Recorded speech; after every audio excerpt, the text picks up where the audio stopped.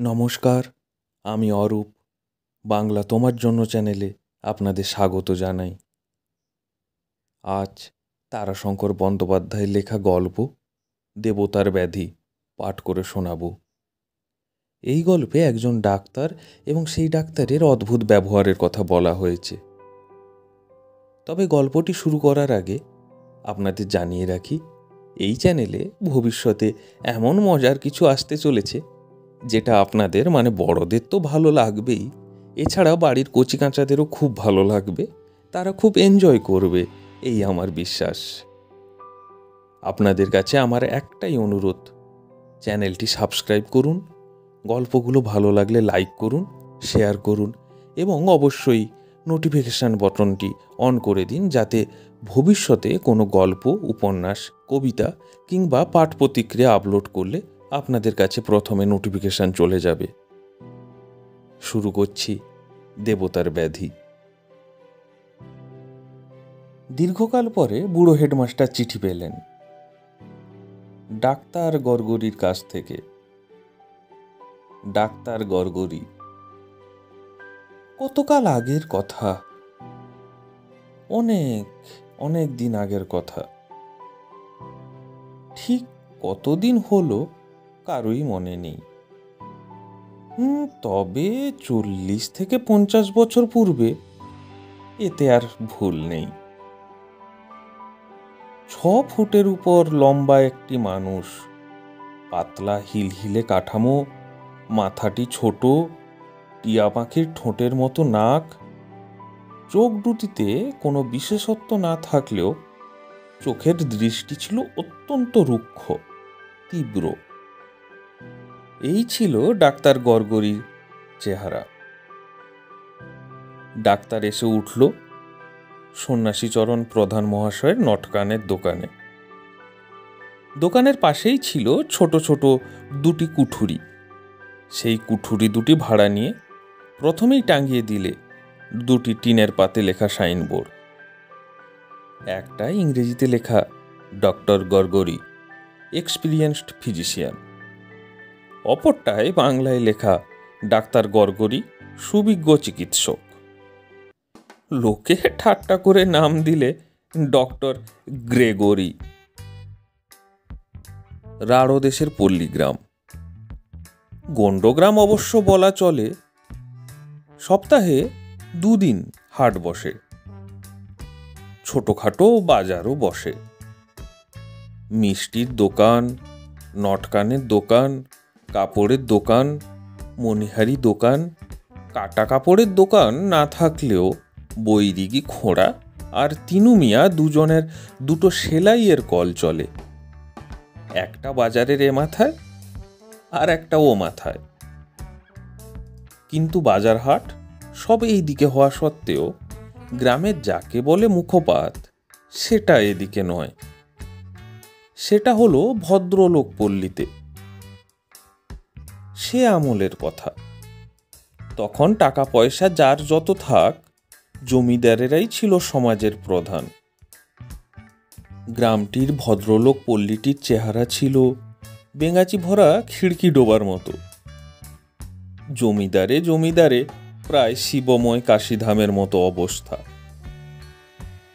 বছরে পঞ্চাশ, একশো, দুশো, পাঁচশো, হাজার দু হাজার আয়ের জমিদার সব। তিন চার ঘর, চার পাঁচ হাজারই। এক ঘর পাঁচ হাজার ছাড়িয়ে ক্রমে ক্রমে বাড়ছেন দিন দিন শুক্লপক্ষের চাঁদের মতো। ঘরে ঘরে মজলিস বসে, কাছারি হয়, খানাপিনা গীতবাদ্য হয়। রাত্রি বারোটা পর্যন্ত আসর সরগরম থাকে। ডাক্তার ঘাড় বেঁকিয়ে তির্যকভাবে দৃষ্টি নিক্ষেপ করে সন্ন্যাসী প্রধান মশাইকে বলে I don't care you understand mister প্রডানা সন্ন্যাসীচরণ ইংরেজি বুঝত না।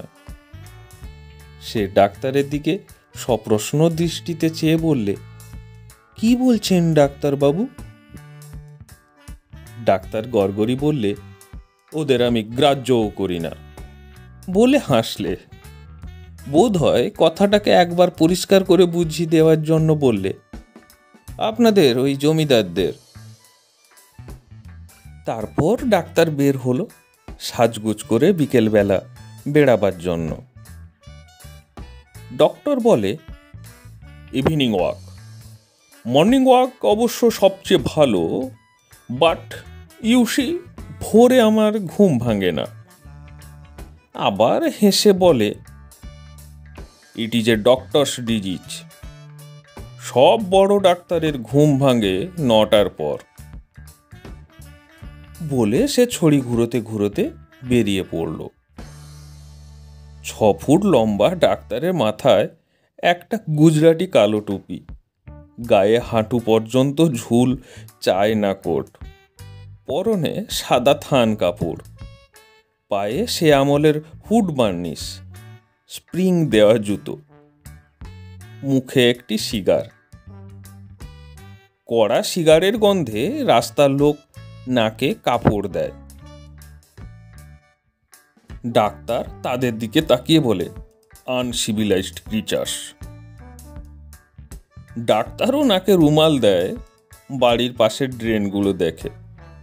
বলে ডাটি নুইসেন্স তার বেশভূষার দিকে হাঁ করে যারা চেয়ে থাকে, তাদের সে বলে হাম্বাক পশ্চিম রাড়ের পল্লী। লোকদের কথায় বিচিত্র টান। ওইকার, একার চন্দ্রবিন্দু রকারের কাছাকাছি। গিয়েছে, হয়েছে, স্থলে বলে গইছে হইছে। কেনকে বলে, কেনে? খেয়েছিকে বলে, খেয়েছি। হারকে বলে হাড় রামকে বলে, রাম। নিতান্ত নিম্ন স্তরের লোকে আবার রামকে বলে আম আর আমকে বলে রাম। ডাক্তার শুনে বলে বারবেরিয়ানস ব্রুটস। বাংলাতে বলে, অনার্য বর্বরের দেশ। বাজারের ভিতরে রাস্তাটা ধরে সে বরাবর চলে গেল স্কুলের দিকে। এখানে একটা এমই স্কুল আছে। পথে থানা। সে আমলের থানা। খান কয়েক চেয়ার, দুখানা টেবিল থাকলেও তক্তাপোষের আধিক্য ছিল বেশি। দারোগাবাবুর ভুঁড়ি ছিল। তক্তাপোষের উপরে তাকিয়ায় হেলান দিয়ে বসে পান চিবুচ্ছিলেন আর গড়গড়ায় তামাক টানছিলেন।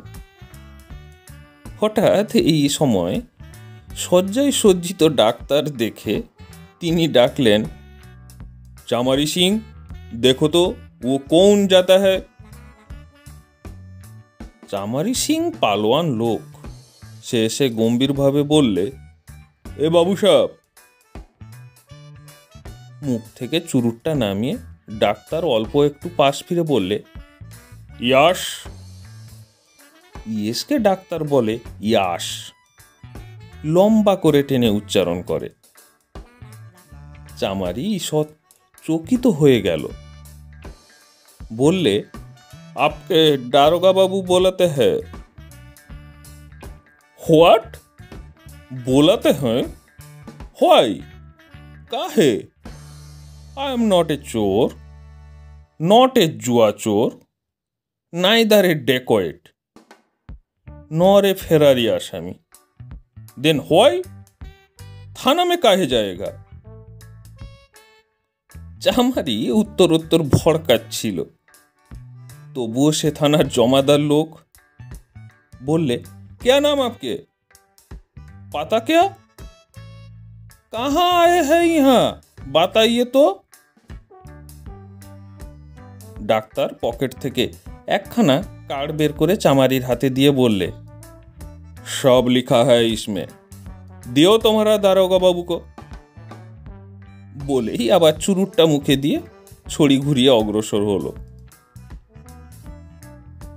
পথে কয়েকটা কুকুর টুপি পরা অপরিচিত এই মানুষটিকে দেখে ঘেউ ঘেউ করে ছুটে এলো। ডাক্তার হাতে ছড়িটা তুললে বিরক্তি ভরে। দেখতে শৌখিন হলেও তার ছড়িটা বাবু ছড়ি নয়, দস্তুর মতো জোষ্টি পাকা বেতের এবং মোটা। অর্থাৎ বেড়ে প্রায় সে আমলের ডবল পয়সার মতো। তার উপর ডাক্তারের মতো লম্বা মানুষের উপযুক্ত লম্বা। দু চার ঘা বেশ দেওয়া যায়। কিন্তু পরক্ষণেই হেসে ফেলে ডাক্তার ছড়ি নামিয়ে নিলে। কুকুরগুলোকেই বললে দ্যাটস গুড। বিশ্বাসী গ্রামভক্ত কুকুর। এঁটো কাটা, নুন খেয়ে নিমক হালাল। হ্যাঁ দ্যাটস গুড বলেই আবার অগ্রসর হলো। গ্রামের প্রান্তে এমই স্কুল। খড়ো বাংলো ধরনের লম্বা বাড়ি। পাশেই একটা কোঠা ঘরে হেডমাস্টার থাকেন। প্রবীণ লোক। বাসার সামনে বেঞ্চি পেতে হুঁকোয় তামাক খাচ্ছিলেন। আর খবরের কাগজ পড়ছিলেন। সে আমলের কাগজ, সাপ্তাহিক সংবাদপত্র, অবশ্য ইংরেজি। ডাক্তার তার সামনে এসে দাঁড়াল। Hello, are you the venerable headmaster of the school? Headmaster উঠে দাঁড়ালেন। ইয়েস। বলে সবিস্ময়ে সপ্রশ্ন দৃষ্টিতে ডাক্তারের মুখের দিকে চেয়ে রইলেন। ডাক্তার বললে, গুড ইভিনিং। তারপর নিজের একখানি কার্ড বের করে হেডমাস্টারের হাতে দিয়ে বললে, এখানে প্র্যাকটিস করতে এসেছি আমি। বাট ইউসি জীবনে বন্ধুর প্রয়োজন। I have come to ask you to be a friend of mine. Headmaster হেসে বললেন "হ্যাঁ, বসুন বসুন। Let me have your hand first মাস্টারের হাতখানি নিয়ে হ্যান্ডশেক করে ডাক্তার বসল। মাস্টার মশাই জিজ্ঞাসা করলেন কোথায় উঠেছেন? এখানে কেউ জানাশোনা আছে কি না? আর দেশে কে কে আছে? কোথায় দেশ? কেমন অবস্থা? সে কথাও ইঙ্গিতে জানতে চাইলেন। বেঞ্চের উপর বসে ডাক্তার তার লম্বা পা দুখানির একখানি নাচাতে নাচাতে উত্তর দিলে আর চুরুট টানলে। শেষের প্রশ্নের উত্তরে বললে, দেশ কলকাতার কাছেই। মা আছেন, তিনি থাকেন কাশিতে। স্ত্রী আছেন, পুত্র আছেন, কন্যাও আছেন। গরিব মানুষ, আমি headmaster. A poor man master প্রশ্ন করলেন, এইখানেই যখন থাকবেন, তখন নিয়ে আসবেন তো এখানে? ডাক্তারের পার দুটো ঘন ঘন নাচতে আরম্ভ করলে। না, হেডমাস্টার, সে আইডিয়া আমার নেই। তাহলে তারা সেখানে থাকবেন কার কাছে? ওহ, ডাক্তার বললে, তাদের আমি বাপের বাড়িতে, আই মিন আমার শ্বশুর বাড়িতে রেখে এসেছি। সেইখানেই তারা থাকবে। একটু চুপ করে থেকে অনেকটা যেন হঠাৎ আবার বললে, ইয়াস, হেডমাস্টার, সেইখানেই থাকবে। এখানে আনার কথা আমি ভাবতেও পারি না। এরপরে সে প্রায় চুপ করেই গেল এবং অত্যন্ত দ্রুত ভঙ্গিতে পা নাচাতে আরম্ভ করলে। হেডমাস্টার বললেন, চলুন, আমি যাব গ্রামের দিকে, ভদ্রলোকদের সঙ্গে আলাপ হবে। চলুন। ডাক্তারও উঠে দাঁড়াল। সন্ধ্যার আপছাওয়ার মধ্যে টুপি মাথায় চায়না কোট পরা লম্বা লোকটিকে অদ্ভুত দেখাচ্ছিল। স্থির সুদীর্ঘ একটি রেখার মতো কয়েক মুহূর্ত দাঁড়িয়ে থেকে সে বললে গুড নাইট, হেডমাস্টার। সে কি, গ্রামের মধ্যে যাবেন না? নো, মাফ করবেন, হেডমাস্টার। তারা সব ধনী ব্যক্তি, পুরুষানুক্রমে জমিদার। আমি একজন গরিব মনুষ্য, খেটে খাই। Water and oil you see headmaster, কখনো মিস খায় না। Good night. কথাটা অজানা রইল না কারুর। জানাতে অবশ্য বারণ করেনি ডাক্তার। কিন্তু ঢাক বাজিয়ে বলার মতো ইচ্ছেও তার ছিল না। ঢাক বাজিয়ে যে কথাই বলতে যাক, তাতে গলায় শুধু উঁচুতে চড়ে না, রং চড়ে, কথাও ফলাও হয়ে ওঠে। এক্ষেত্রেও তার ব্যতিক্রম হলো না। গাঁয়ের বাবুপাড়ায় কথাটা ঘোরালো এবং জোরালো হয়ে আলোচিত হতে আরম্ভ হল। কেউ বললেন, ডাক্তার বলেছে, গুন্ডার দল সব না কামিয়ে দর্জি। বাপের পয়সায় খায় নিষ্কর্মার দল, মাতাল, লম্পট, অত্যাচারী। ডাক্তারও শুনলে। শুনে হেসে বললে ওরা নিজেরা নিজেদের সত্যি বিশেষণগুলো রাগের মাথায় আমার কথা বলে ফেলেছে। ওর কোনোটা আমার কথা নয়। কেউ বললে, ডাক্তার বলেছে, ইতর, ওদের আমি ঘেন্না করি।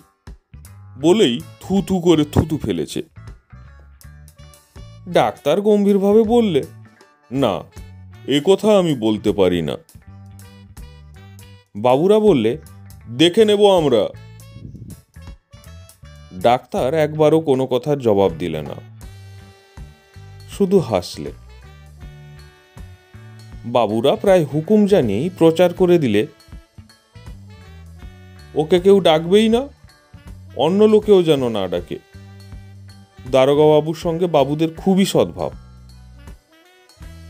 দারোগা বাবু সে মজলিসে ছিলেন। সন্ন্যাসী প্রধান বললে ডাক্তারবাবু, কাজটা ভালো হচ্ছে না। চলুন, একদিন বাবুদের ওখানে যাই। গেলেই ব্যাপারটা মিটে যাবে। ডাক্তার নিবানো আতখানা চুরুটটা কামড়ে ধরে দেশলাই জেলে ধরিয়ে ফেললে। বললে, বাবুরা, আপনার যদি ক্ষতি করতে পারে বলে মনে করেন সন্ন্যাসী বাবু, বলবেন আমাকে। আমি তাহলে চলে যাব এখান থেকে। ঠিক সেই মুহূর্তেই একটা ব্যাপার ঘটে গেল। বাবুদের টমটমে চামারি সিং ছাতা ধরে নিয়ে যাচ্ছিল একটি ছেলেকে। দশ বারো বছরের ছেলে। ছেলেটি চিৎকার করে উঠল, ও মাগো ও বাবা রে! প্রায় সে নেতিয়ে পড়ে গেল টমটমের উপর।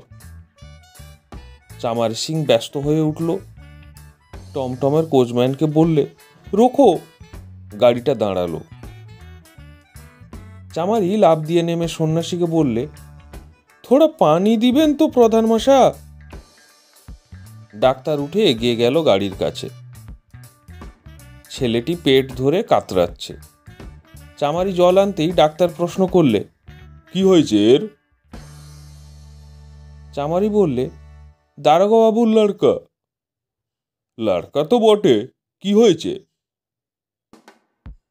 প্রধান বললে, ভারী দুঃখের কথা, ডাক্তারবাবু। ছেলেটির এই বয়সেই অম্বল শুল হয়েছে। আইসি তা এই রোদ্দুরে এই অবস্থায় নিয়ে যাচ্ছে কোথায়? কালীতলা। পাশের গাঁ দেবীপুরে ভারী জাগ্রত কালীমা আছেন। সেইখানে যাচ্ছে। ফি মাসে অমাবস্যাতে যেতে হয়। কালীমায়ের ওখানেই পড়েছে শেষ পর্যন্ত। হুম। কে বললে? শুলবে তো না? মা কালীর ভরণে বলেছে। ডাক্তার বললে, হম্বাক। চামারি বিব্রত হয়ে প্রধানকে বললে, কি করি আমি প্রধান মাসা ডাক্তার নিজেই ছেলেটিকে কোলে নিয়ে নিজের ঘরে এনে শোয়ালে। চামারিকে বললে, বলাও তোমার দারোগাবাবুকে। যাও, বলছি। ডাক্তার দারোগাকে বললে ফুলফুল নয়, এই আপনাদের মা কালীর বাবারও সাধ্য নাই যে ভালো করে দেয়। বুঝলেন? দারোগা অবাক হয়ে গেলেন।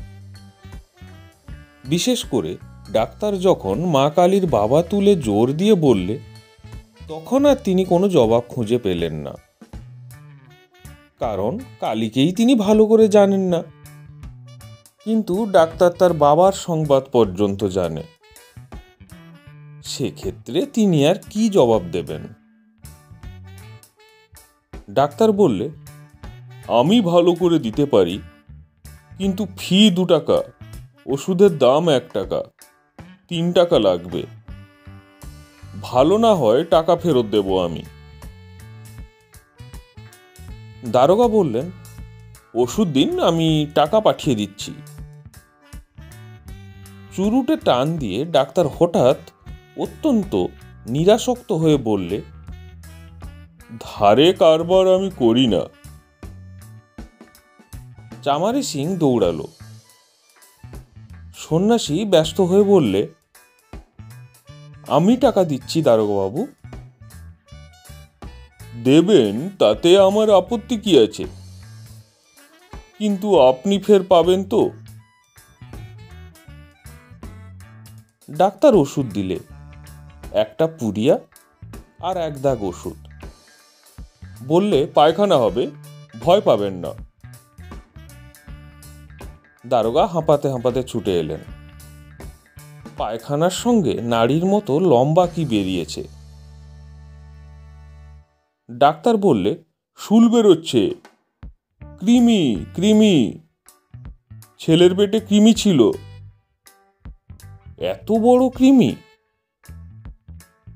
হ্যাঁ ভালো হয়ে গেল শুল বেদনা। যান, বাড়ি যান। তারপর আবার বললে আপনার মাথাতেও দেখছি কৃমি আছে। হাঁ করে দাঁড়িয়ে আছেন যে বড়? হাসতে হাসতে আবার বললে, ওর ওষুধ আমার কাছে নাই। যান, বাড়ি যান। প্রধান মশাইয়ের টাকা তিনটে দিয়ে দেবেন। বুঝলেন? এক চিকিৎসাতেই ডাক্তারের পশার জমে গেল। দারোগা প্রত্যেককে বললেন, ধনন্তরী, সাক্ষাৎ ধনন্তরী। ডাক্তার এতেও হাসে। এই হাসি কিন্তু অন্যরকম।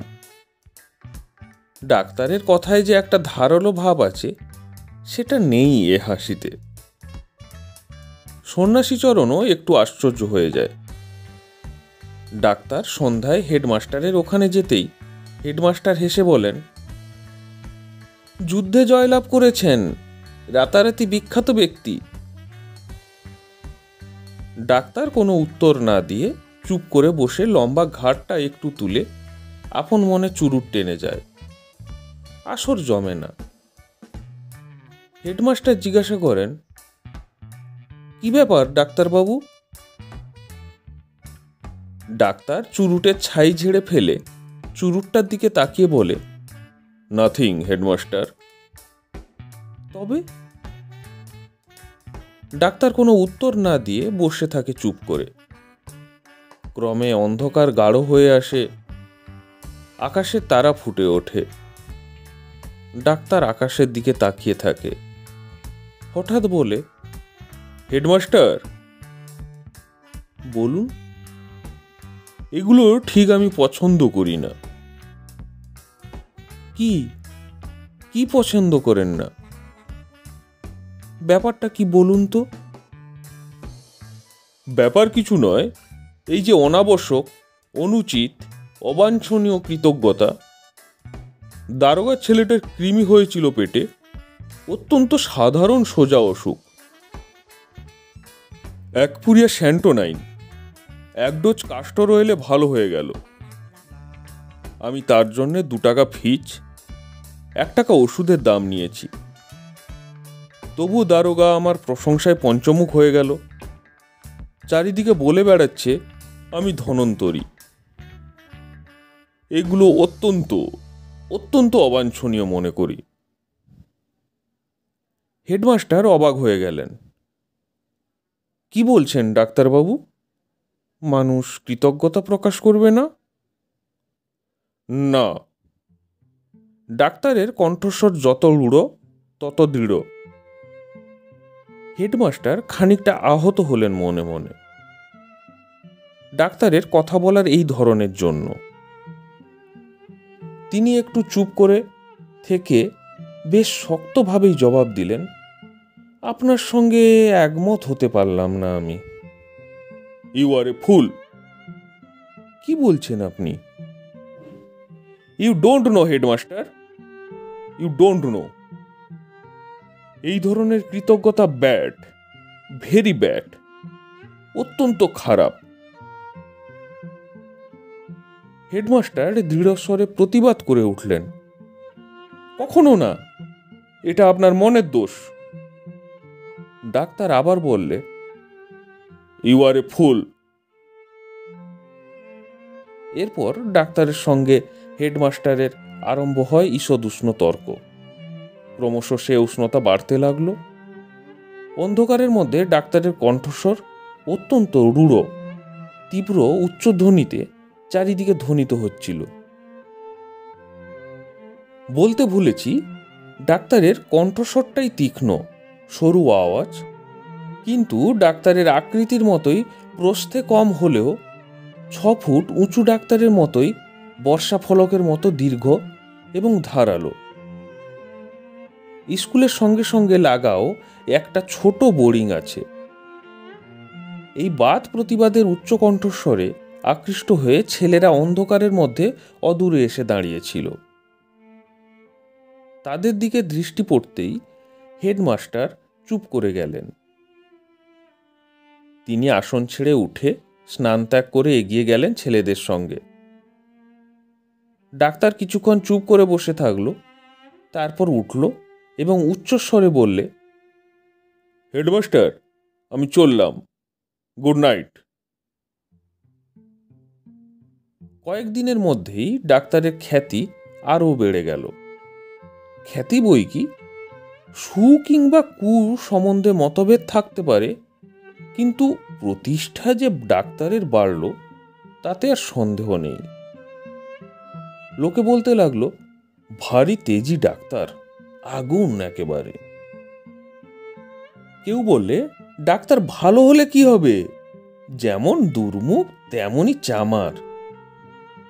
কেউ বললে, পাষণ্ড। দারোগা একদিন নিমন্ত্রণ করতে এসেছিলেন। ডাক্তার তাকে পায়ে হাঁকিয়ে দিয়েছে। না না না, ওসব আমার অভ্যেস নেই। রোগীর বাড়ি ফিজ নিই, চিকিৎসা করি। নেমন্তন্ন খাই না। মানুষ মরছে কি মরে গেছে, সেখানেও ডাক্তার ফিয়ের জন্য হাত বাড়িয়ে দাঁড়িয়ে থাকে।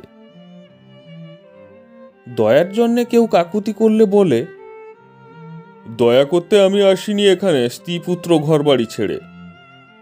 ফিজ ছাড়তে আমি পারব না। না দিতে পারো, ডেকো না আমাকে। হেডমাস্টারকে বলে, বিনা বেতনে আগেকার গুরুদেবের মতো ছেলে পড়াতে পারেন আপনি? হেডমাস্টার চুপ করে থাকেন। এই উগ্র মস্তিষ্ক লোকটির সঙ্গে কোনো মতামত নিয়ে আলোচনা করতে তিনি চান না। বিশেষ করে যেখানে সামান্য মতবিরোধের সম্ভাবনা থাকে। ডাক্তার পা নাচাতে শুরু করে। চুরুট টানতে টানতে বাঁকা সুরে বলে অবশ্য এর চেয়ে তাতে লাভ বেশি, হেডমাস্টার। হেডমাস্টার মৃদু হাসেন। ডাক্তার বলে, আরুণী গুরুর আল মারতে গিয়ে জল আটকে শুয়ে থাকে। উতঙ্ক দেব দুর্লভ কুণ্ডল এনে দেয় গুরুপত্নীর জন্য। গুঁড়ো থেকে, গরু থেকে ধন, রত্ন, মণিমাণিক্য সব পাওয়া যায়। এমনকি শিষ্যের জীবনও চাইলে পাওয়া যায়।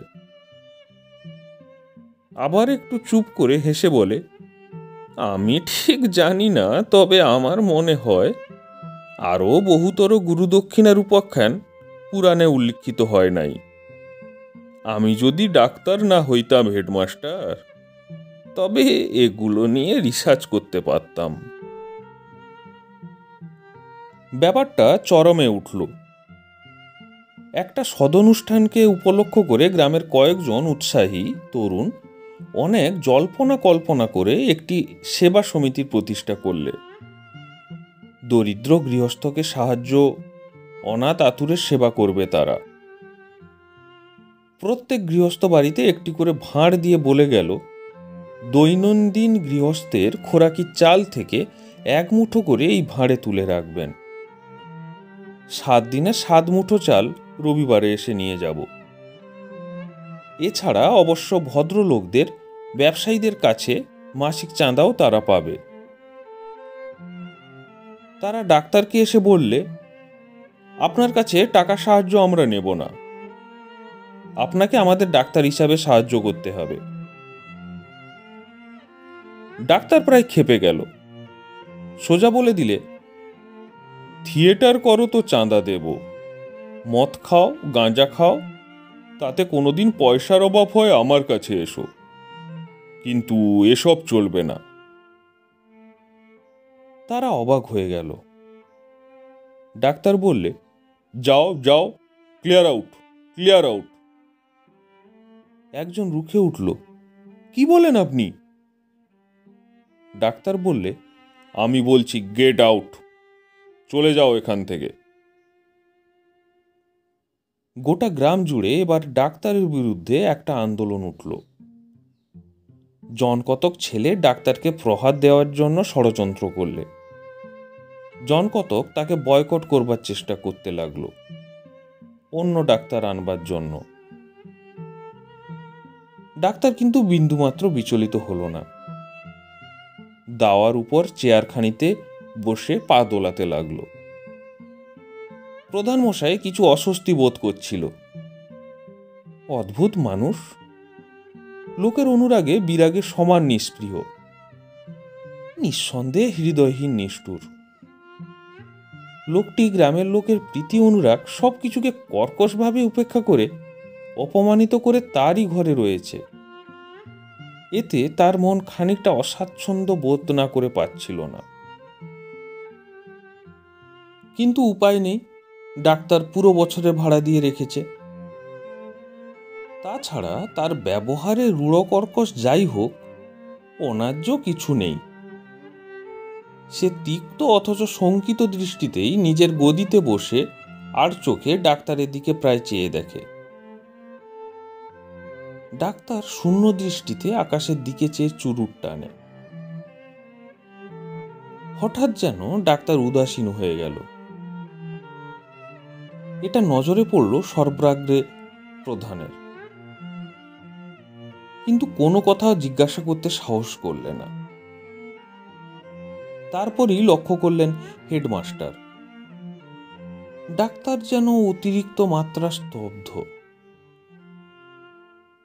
তর্ক প্রসঙ্গে অত্যধিক উগ্র হয়ে ওঠার পর ডাক্তার অনেক সময় স্তব্ধ হয়ে থাকে। হেডমাস্টার লোকটিকে ভালোবেসেছেন। তিনি তখন বলেন, কি মশাই, এখনও আপনার রাগ গেল না? ডাক্তার তাতেও উত্তর না দিলে হেসে হেডমাস্টার বলেন, অন্ধকারে কেউ দেখতে পাবে না, আমিও চিৎকার করব না। রাগ যদি না মিটে থাকে, তো আমাকে নয় দুঘা মেরেই রাগটা মিটিয়ে ফেলুন। ডাক্তার তাতে হেসে ফেলে। কিন্তু এবারে স্তব্ধতার সেরকম কোনো কারণ নেই। তাছাড়া এ স্তব্ধতার ধরনটাও অন্যরকম। ডাক্তার শুধু স্তব্ধই নয়, অত্যন্ত অন্যমনস্ক। চুরুট খাওয়ার মাত্রাও বেড়ে গেছে। তর্কে পর্যন্ত রুচি নেই। হঠাৎ ডাক্তার উঠে চলে যায়। খানিকটা গিয়ে বোধ হয় মনে পড়ে বিদায় সম্ভাষণের কথা। Good night, headmaster. হেডমাস্টার প্রশ্ন করেন নানাভাবে, কি হলো, ডাক্তার? চুরুট টানতে টানতে ডাক্তার বলে, নাথিং, হেডমাস্টার। বাড়ির খবর ভালো তো? ভালো, হুম, ভালো। Good night, headmaster. ডাক্তার উঠে পড়ে। হেডমাস্টার চিন্তিত হলেন কয়েকদিনই ডাক্তার আসছেন না। নিজেই সেদিন গেলেন তিনি ডাক্তারের ওখানে। কিন্তু ডাক্তারের সঙ্গে দেখা হলো না। ডাক্তার বেড়াতে বেরিয়েছে। প্রধান মশাই ছিলেন দোকানে। তিনি সসম্ভ্রমে মাস্টারকে বসতে দিলেন তার দোকানের সবচেয়ে ভারী চেয়ারখানায়। তামাক তামাক করে ব্যস্ত হয়ে উঠলেন। মাস্টার বললেন, থাক ব্যস্ত হবেন না, প্রধান মশাই। আমি তো রয়েছি। ডাক্তারের সঙ্গে দেখা না করে যাচ্ছি না। ধীরে সুস্থে আসুক না, তামাক। প্রধান বললেন, আশ্চর্য কাণ্ড হয়ে গেল, মাস্টার মশাই। ডাক্তার হয় খেপে গেছে, নয়, ছ মাসের বেশি বাঁচবে না। হঠাৎ আর একরকম হয়ে গেল। বলেন কি হ্যাঁ গরিব দুঃখীর কাছে ফিজ নেওয়া বন্ধ করে দিয়েছে। ওষুধও অনেককে বিনা পয়সায় দিচ্ছে। আবার কাউকে কাউকে পথ্যের জন্যেও পয়সা দিচ্ছে। হেডমাস্টার হাঁপ ছাড়লেন। বরাবরই তার সন্দেহ ছিল। মনে হতো, এ কঠোরতা তার অস্বাভাবিক, ধার করা, ছদ্মবেশের মতো। যাক, লোকটা তাহলে স্বাভাবিক হয়েছে। ডাক্তার ফিরল প্রায় রাত্রি নটার সময়। নিস্তব্ধ পল্লীর পথ। ডাক্তার গান গাইতে গাইতে আসছিল, অবশ্য মৃদুস্বরে গান। হেডমাস্টারকে দেখে স্মিত হাস্যে বললে, হেডমাস্টার? হ্যাঁ। হেডমাস্টার উঠে ডাক্তারের হাত চেপে ধরে বললেন, I am very glad, I am very glad, doctor. সব শুনলাম। ডাক্তার একটু চুপ করে থেকে বললে, কি শুনলেন হেডমাস্টার? হেসে হেডমাস্টার বললেন, আপনার গান তো নিজেই কানে শুনলাম। তারপরে শুনলাম আজকাল আপনার ছদ্মবেশ ফেলে দিয়েছেন। গরিব দুঃখীদের বিনা পয়সায় দেখছেন, ওষুধও দিচ্ছেন অনেককে বিনা পয়সায়। কাউকে কাউকে পথ্যের পয়সাও দিচ্ছেন। আমার সন্দেহ বরাবরই ছিল ডাক্তার। ডাক্তার একটু চুপ করে থেকে বললে, এককালে প্রথম যৌবনে মাস্টার মশাই।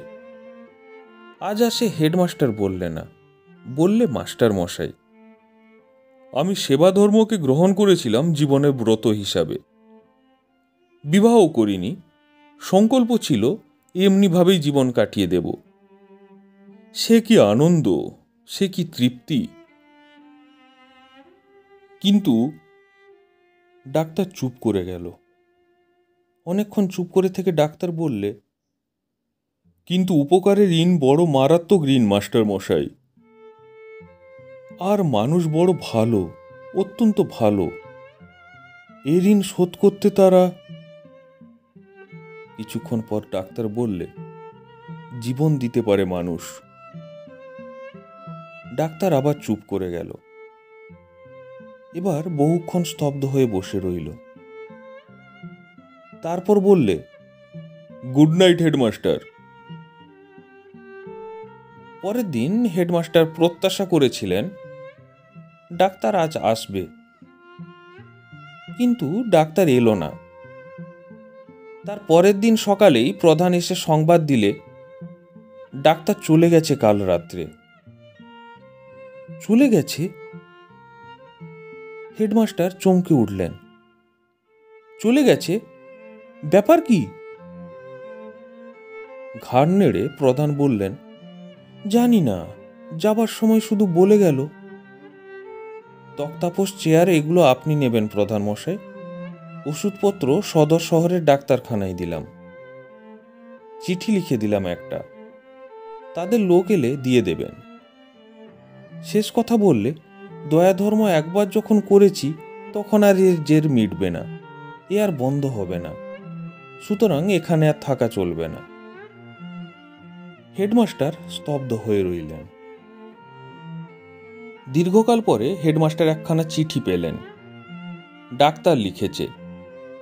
মৃত্যু সজ্জায় লেখা একটি চিঠি। ডাক্তারের মৃত্যুর পর একজন উকিল চিঠিখানা রেজিস্ট্রি করে পাঠিয়েছে। ডাক্তারের অভিপ্রায় অনুযায়ী। বৃদ্ধ হেডমাস্টার পড়ে গেলেন, সুদীর্ঘ চিঠি। লিখেছে,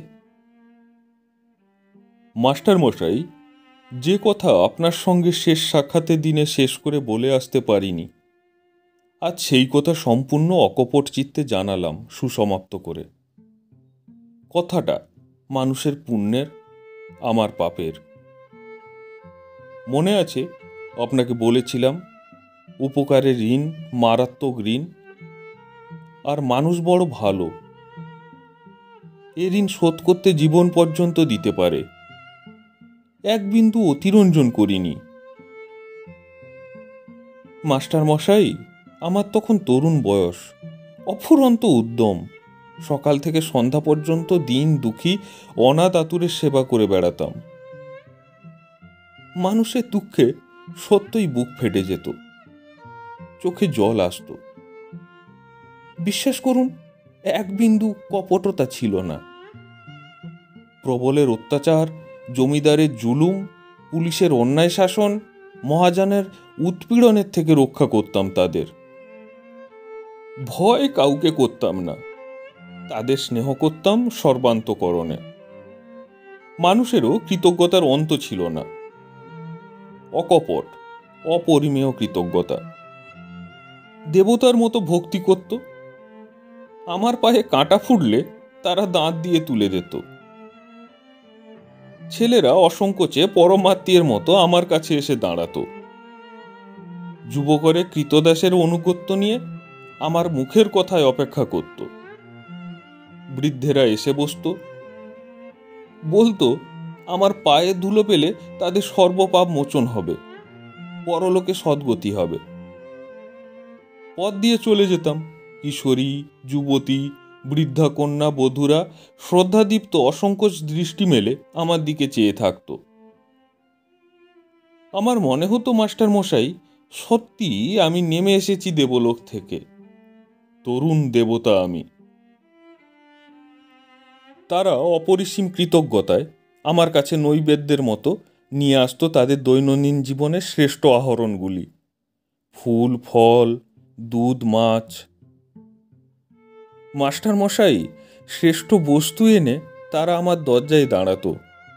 দেব মন্দিরে যেমনভাবে তারা দিয়ে আসে, তাদের সর্ববস্তুর অগ্রভাগ। মাস্টার মশাই হঠাৎ সব বিষিয়ে উঠল। অনিবার্য পরিণতিই বলব একে। জীবন সমুদ্র মন্থন করতে গেলে বিষ উঠবেই। আমার ছিল না নীলকণ্ঠের শক্তি। মাস্টার মশাই এভাবে অমৃতের লোভে জীবন সমুদ্র মন্থন করবার অধিকারী আমি ছিলাম না। যাক, যা ঘটেছিল তাই জানাই। সেবার রথযাত্রা উপলক্ষে যাত্রীদল গিয়েছিল শ্রীক্ষেত্রে। তারা ফিরে এলো কলেরা নিয়ে। একটি দরিদ্র পরিবার ছিল দলের মধ্যে। প্রৌঢ় বাপ প্রৌঢ় মা আর বিধবা যুবতী কন্যা। বাপ পথে মারা গিয়েছিল। কন্যাটি রোগ সবে দেখা দিয়েছে, এমন সময় এসে পৌঁছলো তারা গ্রামে। কন্যাটি যায় যায় মা আক্রান্ত হলো। দুটি রোগীর মাঝখানে বসে রাত কাটালাম আমি। এতটুকু ত্রুটি করলাম না। পরিশ্রম সম্পূর্ণ সার্থক হলো না। মা মারা গেল। মৃত্যুর দাঁত থেকে ফিরে এলো কন্যাটি। অনাথা মেয়েটি রোগমুক্ত হয়ে, নিরুপায় হয়ে চলে গেল তার মামার বাড়ি। মাস কয়েক পরে একদিন পথে যেতে হঠাৎ দেখা হলো মেয়েটির সঙ্গে। স্বাস্থ্য ফিরে পেয়েছে, বৈষম্যের মীরাভরণতার মধ্যে তার সকরুণ মূর্তিখানি বড় ভালো লাগল আমার। বললাম, এই যে, চমৎকার শরীর সেরেছে তোমার। বাহ, ভারী আনন্দ হলো। ভারী ভালো লাগছে তোমাকে দেখে। পরদিন সে এলো কয়েকটা গাছের ফল নিয়ে। দুদিন পর সে আবার এলো তার নিজের হাতে তৈরি মিষ্টান্ন নিয়ে। আবার একদিন সে এলো কিছু ফুল নিয়ে। কয়েকটা দুর্লভ ফুল, সে ফুলের গাছ ওদের বাড়িতে ছিল। আমি অন্য কোথাও দেখিনি। মাস্টার মশাই ওই ফুলের রূপ এবং গন্ধের মধ্যেই ছিল বিষ। মন আমার বিষিয়ে উঠল। তার মনে কি ছিল জানি না। কিন্তু আমার মনে কামনার হলাহল যেন উঠলে উঠল। সেই দিন রাত্রেই আমি গিয়ে দাঁড়ালাম তার জানালার নিচে। মৃদুস্বরে ডাকলাম। জানালা খুলে আমায় দেখে সে অবাক হয়ে গেল। মাস্টার মশাই সে প্রথমটা শিউরে উঠেছিল আমার প্রস্তাবে। কিন্তু আমার মধ্যে তখন প্রবৃত্তির আলোড়ন জেগে উঠেছে, কালবৈশাখী ঝড়ের মতো। আমি বললাম, এই তোমার কৃতজ্ঞতা? সে খাতকের মতোই দিনভাবে নিজেকে সমর্পণ করে দিল আমার বুভুক্ষিত প্রবৃত্তির কাছে। সেই যে রাগলো, ক্রূর প্রবৃত্তি, তার নিবৃত্তি আর হলো না। শুধু তার আহুতি নিয়েই তৃপ্ত থাকতে পারলাম না। মানুষের সকৃতজ্ঞ চিত্তের আনুগত্যের সুযোগে বহু ভোগের আকাঙ্ক্ষা জেগে উঠল। আমার কর্মের মর্মর খণ্ড থেকে এই মানুষগুলি তাদের কৃতজ্ঞতার পরিকল্পনায় গড়ে তুলেছিল যে দেবমূর্তি। আমার আত্মপ্রসাদের পূজায় সে দেবতা জাগলো ক্ষুধা দিয়ে। মাস্টার মশাই শয়তান ক্ষুধার্ত হয়ে মানুষকে আক্রমণ করলে মানুষ তার সঙ্গে লড়াই করতে সাহস পায়। মানুষ বহু ক্ষেত্রে তাকে বধ করেছে। বহু দৃষ্টান্তই তার আছে। দেবতার ক্ষুধার্থ আক্রমণের মুখে মানুষ কিন্তু অসহায়। সেখানে তার কোনো ক্রমেই নিস্তার নাই। আমার ক্ষুধার্থ দেবরূপ অবাধ গতিতে আদায় আরম্ভ করলে তার নৈবেদ্য, তার বলি। আজ হয়তো আপনি মাস্টারি করেন না। যদি করেন, তবে অনুরোধ রইল, ছেলেদের দেবতা হবার উপদেশ দেবেন না। মানুষ শুধু মানুষ হতে উপদেশ দেবেন। দেবতাকে পূজা করতে উপদেশ দেবেন না। তার সঙ্গে লড়াই করবার মতো সাহস দেবেন তাদের। তারা যেন যাক এসব কথা। এরপর নিজেকে সংযত করতে চাইলাম। রাত্রির পর রাত্রি কাঁদলাম, উপবাস করলাম। তবু তবু সংযত হলো না প্রবৃত্তি। অনুশোচনারও অন্ত ছিল না। একদা মনকে স্থির করে, সেবাব্রত ত্যাগ করে দেশে ফিরে এসে বিবাহ করলাম। আমার স্ত্রী সুন্দরী, গুণবতী, কিন্তু আশ্চর্য মাস্টারমশাই, তাকে ভালোবাসতে পারলাম না। আমি জানি, তাকে আমি ভালোবাসিনি। তাই তাদের কাছেও থাকতে পারিনি। প্র্যাকটিসের অজুহাতে একখান থেকে অন্যখানে ঘুরেছি। জীবনে রূঢ় হতে চেয়েছি, মানুষকে দূরে রাখতে চেয়েছি। কটু বলেছি, নিষ্ঠুরের মতো। কিছু আদায় করে পিসাদ হতে চেয়েছি, মানুষের কৃতজ্ঞতার ভয়ে। ক্রমে বহু পরিবর্তন হয়ে গেল জীবনে। আমার ভাষা হলো মিষ্ট। কিন্তু হলাম রুক্ষভাষী কথায় কথায় রাগ হতে আরম্ভ হলো, তর্ক করা স্বভাবে দাঁড়িয়ে গেল। কিন্তু আসল পরিবর্তন হলো না। সাপের বিষের থলি শূন্য করে দিলেও আবার সে পরিপূর্ণ হয়ে ওঠে। দংশনের প্রবৃত্তিও তা যায় না, মাস্টার মশাই। বারবার ঠকলাম। একবার কাউকে কৃতজ্ঞ হবার সুযোগ দিলে রক্ষা থাকতো না। আমার অন্তরে সরীসৃপ জেগে উঠত। সেই সুযোগে সে প্রবেশ করতে চাইতো তার ঘরে। তাই প্রাণপ্রণে সংসারটাকে নিছক দেনা পাওনার হিসেবের খতিয়ানের খাতায় পরিণত করতে চেয়েছি। কিন্তু পারিনি। হঠাৎ একদার আত্মসংবরণ করতে পারতাম না। সেদিন সত্যই সৎ প্রবৃত্তির বশবর্তী হয়েই করুণায়, কর্তব্যের প্রেরণাতেই মানুষের দুঃখের ভাগ নিতাম। তারপর আর রক্ষা থাকতো না। আরম্ভ হয়ে যেত আমার জীবনের জটিল খেলার নূতন দান।